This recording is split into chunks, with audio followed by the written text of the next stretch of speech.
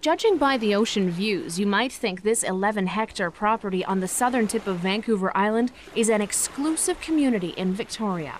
And you'd be right in a sense. In fact, you might say that people are dying to get in.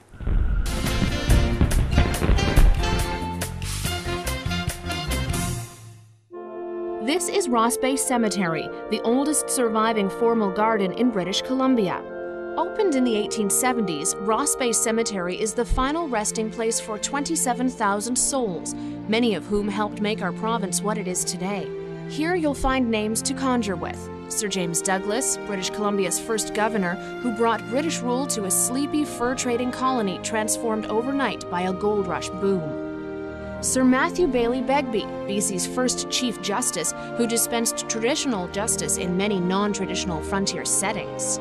And Emily Carr, born in Victoria the year BC joined Confederation, who became one of the most influential artists of the 20th century. Some people here made names for themselves in other parts of the province and later came to the capital. This is the grave of William Fernie, who founded the town of Fernie. A prospector and rancher, Fernie acquired a quarter million acres of coal rich land in the Crowsnest Pass area and persuaded the CPR to put a rail line through the mountains to serve it.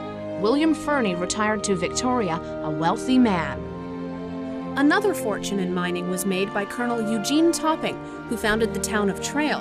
In 1895, the colonel acquired the famous Le Roi gold mine at nearby Rossland the ore was smelted at Trail, the town prospered, and Topping was elected the first mayor. William Fernie and Eugene Topping joined many other BC pioneers in making the capital their final home. Their grave sites in this beautiful setting are permanent reminders of how the capital is connected in many ways to the development of British Columbia.